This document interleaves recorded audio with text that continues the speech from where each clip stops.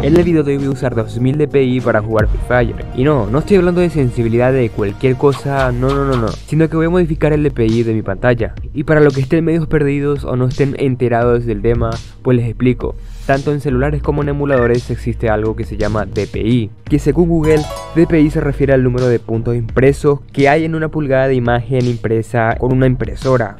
¿Eh? Bueno, supongo que en la pantalla, no sé. Bueno, en fin, en mi caso como soy de emulador, mientras más DPI yo coloque, más grandes se van a ver los iconos y menos sensibilidad voy a tener dentro del juego. Y según rumores, al tener un DPI alto, esto te ayuda a que la mira tiemble mucho menos, pero como les digo, son rumores. Pero hermanos, yo tengo un problema con mi emulador. Por defecto en las configuraciones viene limitado solo hasta 320 dpi, lo cual no nos sirve porque es muy muy poco. Y sí, también existe una herramienta para configurar las cosas más avanzadas del emulador y en este programa también se limita muchísimo porque solo nos deja hasta 1000 dpi que a ver, ya es bastante DPI, pero no nos sirve a nosotros, tenemos que multiplicarlo por 2 porque nosotros queremos 2000 de DPI. Así que estuve investigando muchísimo cómo podía hacer para cambiar el DPI a 2000. Y ahí fue cuando justo un suscriptor me escribió y me explicó este método bastante secreto. La cosa es que para poder tener 2000 de DPI, lo que tuve que hacer es entrar en el editor de registro de Windows, que es algo bastante complicado. Y en esta parte modifiqué la carpeta de BlueStacks, que es el emulador que yo utilizo. Y la opción en específico se llama Boot Parameter. Lo digo por si ustedes también lo quieren cambiar y lo quieren probar. La cosa es que acá se encuentran todas las configuraciones que tenemos nosotros cada vez que vamos a iniciar el emulador. Entonces lo que yo necesitaba es reemplazar el DPI, que para encontrar acá es medio difícil. Entonces lo que tuve que hacer fue seleccionar todo el texto y copiarlo y llevarlo a un blog de notas.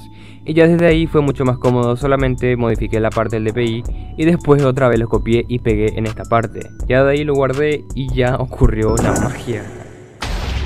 Bien hermanos, ya estoy acá dentro del juego ya me metí directamente en una partidita acá para testear porque no me aguanté y quería ver cómo se siente la sensibilidad. Y lo primero de todo tengo que decirle que está súper lenta, no puedo ni mover mi puto mouse. Y se siente súper raro, obviamente, porque no soy de jugar con sensibilidad baja. Pero obviamente eso no es un problema porque solamente le voy a aumentar la sensibilidad. Ok, para hacerles breve estuve modificando todo, todo, todo fuera de la grabación y ahora sí ya tengo una buena configuración con 2000 de DPI. Ahora sí se puede decir que voy a usar 2000 DPI por primera vez.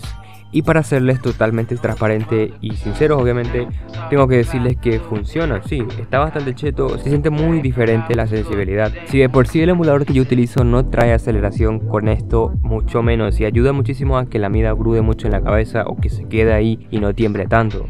Así que supongo que lo que dijeron de que con este DPI no temblaba tanto la mira, supongo que es verdad. Pero nada, ahí tienen el DPI secreto, si ustedes lo quieren probar está bastante cheto. Y si no entendieron el procedimiento hermanos, solamente repiten el video y ahí ya lo van a ver bien. Ahora déjenme probar una partida con este tipo, a ver si le rompo la cabeza con este DPI insano.